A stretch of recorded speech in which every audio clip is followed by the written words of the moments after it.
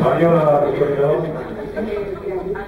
Pues no lo sé, yo no sé estoy educando para conciliar, estoy educando para que, intentando educar para que sean felices, que elijan lo que ellos quieren hacer y den un valor muy importante a su familia, desde luego, que ellos sepan cuáles son sus nortes y bueno, en casa también se les educa para que tengan encargos y estén al servicio de los demás, por supuesto, pero tienen su profesión que es estudiar. Entonces, ahora la conciliación es estudiar, sacar horas también ayudar a hacer el compromiso, la responsabilidad que tengan en casa. ¿no? Rosa María. Yo creo que, por supuesto, refrendo lo que ha dicho Mariola. También he enseñado. Hablado de- Y solo como colofón decir que ahora ya de cultura de eh, conciliación y armonización de esas responsabilidades familiares, padres, hijos, etcétera, y, y trabajo. Importantísimo. Y mm, en realidad creo que eso va a redundar en, como digo, en nuestra sociedad. María. Yo yo lo hago fatal en eso, porque me pone enferma cuando se quejan de los esfuerzos excesivos. O sea, a mí que llegue a casa diciendo, es que mi jefe me ha quedarme hasta las 8 de la tarde, no puedo. Entonces no las ayudo en absoluto a conciliar. Sí que creo que las educo para que tengan aficiones, para que sean felices en su trabajo, para que lo que hagan les les llene, pero a conciliar cero. Ya te digo no puedo soportar esa actitud de los jóvenes de que se quejen del más mínimo esfuerzo que se les pide un poquito. Yo es que no me he educado en así. Y no me sale el, el no que no me lleven los diablos ante una queja que me parece tonta en la situación actual que tenían que dar gracias de tener trabajo de trabajos buenos y que vengan con tonterías, no los No las educo a la conciliación. ¿Cómo hay que educar? Bueno, a mí en ese sentido creo que si lo estuviera seguiría un poco el patrón que han tenido mis padres y mis abuelos conmigo. Yo vengo de una familia de autónomos eh, que se han tenido que buscar muy bien la vida para conciliar y que sobre todo me han educado también a ser feliz y a poder ser lo que yo quiera sin que nadie me diga que no puedo hacer algo. O sea, creo que eso. Bueno, mis hijos son pequeños, el mayor tiene 8 años, que lo ni cocinan ni llegan a la casa, pero, pero yo sí tengo... sí, yo sí intento inculcarles ahora cierto sentido de responsabilidad con sus propias obligaciones, por más que sean menores, todavía no son pequeños.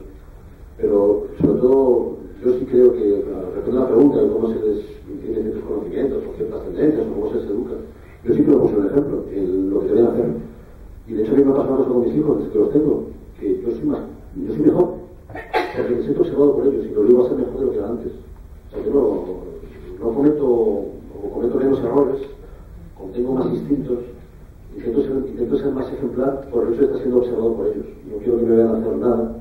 Además lo sé, pues, lo digo porque yo no siempre vi a mis padres hacer lo que tenían que hacer, bueno, a lo mejor también era otra época, no eso. Yo sí tengo la sensación de estar siendo observado y de, y de estar imprimiendo recuerdos. Y no quiero que me recuerden haciendo cosas que yo no quiero que ellos hay que predicar por el. Bueno, pues voy a ceder la palabra a María José Oresti, directora de Tony Woods, para que cierre este acto. Y yo les especial a José un aplauso para esta mesa.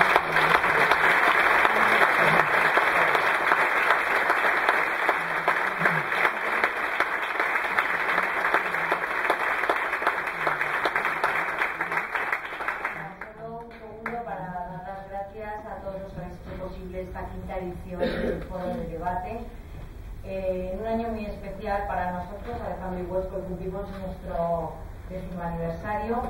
Gracias a las autoridades que nos acompañan esta tarde, diputadas y diputados del Congreso, de los grupos parlamentarios Popular, Partido Socialista, de Ciudadanos, del Congreso y también de la Asamblea de Madrid. Eh, también representantes del Ayuntamiento y del Senado, eh, de la Red Madrileña de Municipios por la Familia, eh, también muy especialmente a nuestro querido José María de Pizarri y su gran equipo de SDS que son patrocinadores de este evento. Gracias eh, a nuestras eh, firmas colaboradoras, Empresa Garden y especialmente a Bankia por acogernos esta tarde aquí en este magnífico auditorio, en sus instalaciones.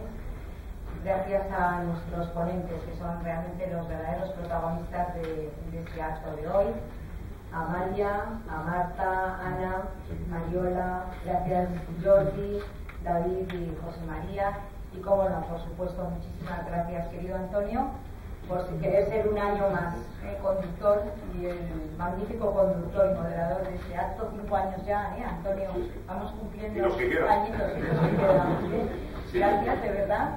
Y muchísimas gracias a nuestros jóvenes voluntarios y, por supuesto, gracias a todos vosotros, que sin duda vuestro apoyo y vuestra asistencia en el día de hoy ha hecho dar más visibilidad y mayor reconocimiento a la familia y al papel que esta juega en nuestra sociedad.